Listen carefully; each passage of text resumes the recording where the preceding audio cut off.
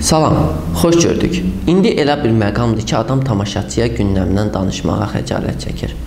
Türkiyədə milyonlarla insan küçələrdə övladının gələcəyi üçün mitinqlərə qoşulanda bizim cəmiyyətimizin gündəmi şortiklə örtülür. Qısacası, beyni açıq qalanların tək dərdi şortik olub. İndi Azərbaycan adlı tarixi məmləkətdə baş verən biabırçılıqlardan danışacağam. Dinləmək istəməyənlər söndürüb ekranı, açıb sosial şəbəkələrdə mənim haqqımda bir statusda cübbuldada bilər. Heç etirazım yoxdur. Dinləyənlərə isə dərin ehtiramla davam edirəm. Türkiyədə Mühərrəm İncə inqilabı mitinqlər həyata keçirərkən bizim beyin inqilabı eləmiş vətəndaşlarımız da incə mövzulara qarışıb. Bildiyindən, bilmədiyindən yazır, danışır, lap elə çərənləyir. And olsun anaların ayağı altında olan cənnətə. Məsələ şortik deyil dava şortik davası da deyil. Məsələ beyinlərə təcavüz eləmiş əxlaqsızlıq davasıdır. Mən milli dəyərlərimizdən boş yerə danışmadım ki. Keçmişdə kişilərimizin bir əxlaqı vardı. Yanında nəinki şortikli, lap çılpaq qadın da dayansa, başını aşağı salıb ötüb keçərdi. Mental dəyərlərin hansısa olayları və qanunları müəyyən boş çərçivədə dərk edib anlayanlar da bu söhbətə şapşup kimi atılmağa vəsil olub. Nə dərinə gedəcəm, nə də ki, üz dözəcəm.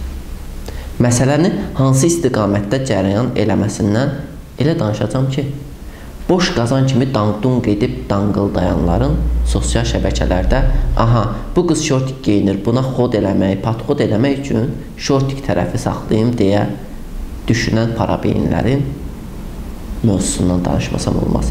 Əslində, əlində təsbihlə dayanıb hər yanından ötənlərdən siqaret ol, siqaretin olmaz deyib soruşanların avtobusda, metroda 12 yaşlı qız uşaqlarının ayaqlarından gözlərini çəkməyənlərin qeyrətə gəlməsi, qeyrət damarcığı elə bir nöqtədən qırılıb ki, fantam verir. Hər gün şortika aid bir kampaniya keçirib status yazan dostlara, həmkarlara səslənirəm.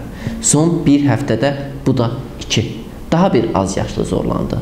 Aksiya keçirmək bacarığınız belə yüksək səviyyədədirsə, Gəlin daha bir aksiyanda biz keçirdək, təcavüzə yox deyək. Lap hamınız şortik geyinib çıxın küçələrə. Amma etirazınız şortikə pis baxan adamlara yox, şortikli qızların küçədə çox olmasından bihuş olan və bunu arzulayan, az yaşlılara tamah salan bu pedofillərə olsun. Bax, buna deyərəm aksiya.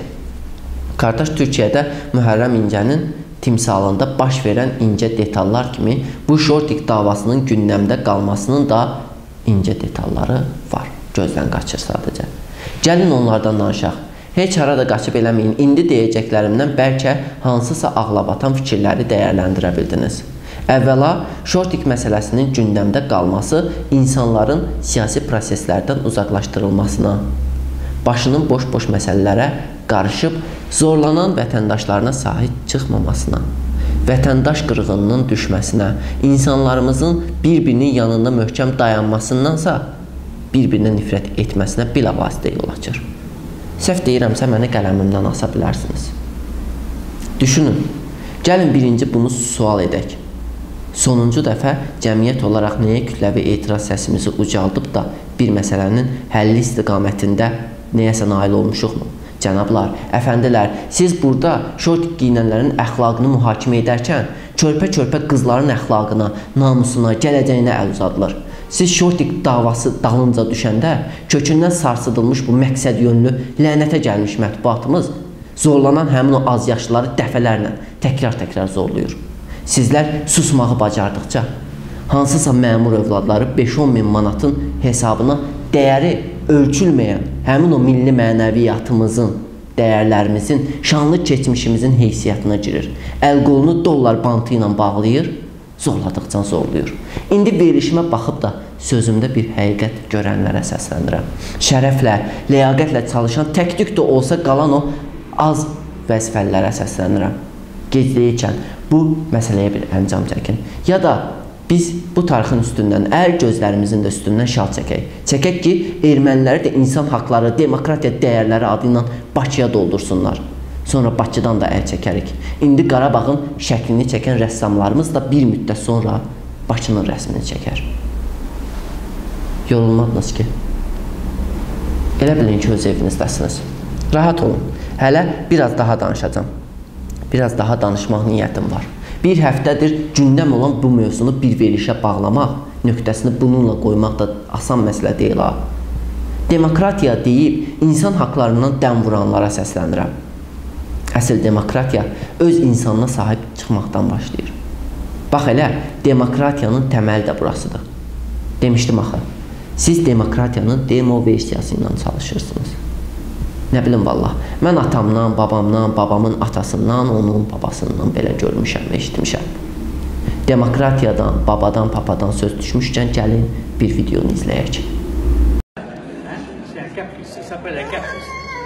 Je vais faire fumer de l'eau sur le front du juge.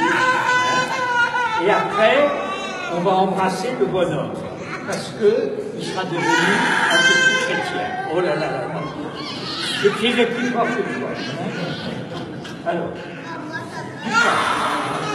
du calme. Du. Il faut se calmer. Tu vas te calmer. Voilà. Tu vas te calmer. Tu vas te calmer.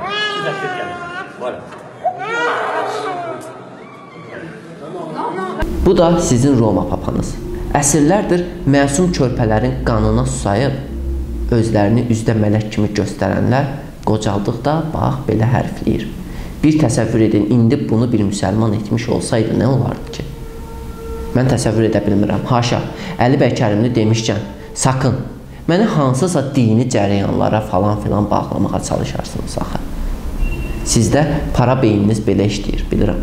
Paradan başqa heç nə düşünməyən para beyinlərin sağlığına söz süzürəm. Cümlə-cümləyə vurub sağlıq deyirəm. Orada bir yol var, uzaqda. O yol bizim yolumuzdur. Dönmesek de, varmasak da o yol bizim yolumuzdur. Sağ ol.